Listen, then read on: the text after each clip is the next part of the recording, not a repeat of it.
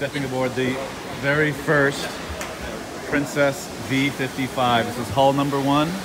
Guys, just have a good look round, okay? And then any questions? Don't give any secrets away. No.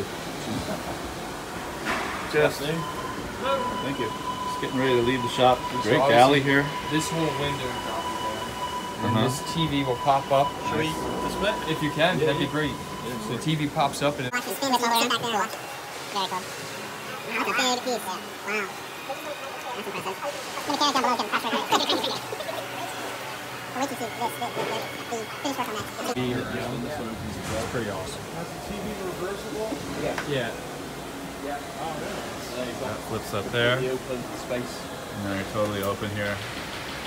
Is this that silver oak? Yeah. You can still see yeah, the real wood. It's got to be down into the.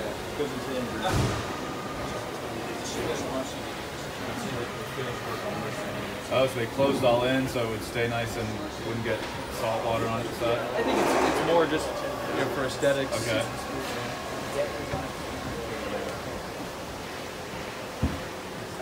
That's huge. From the saloon. And you can do it from the cockpit.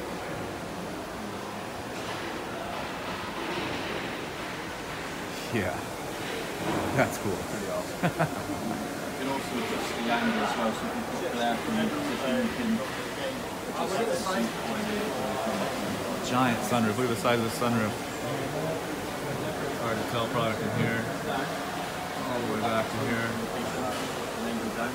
Um, the, thing that we're still working on, is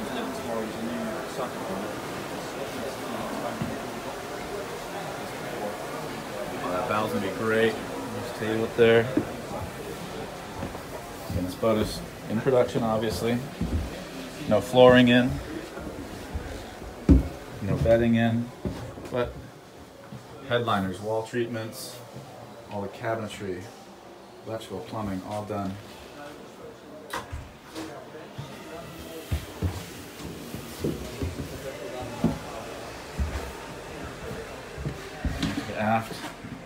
Beam master.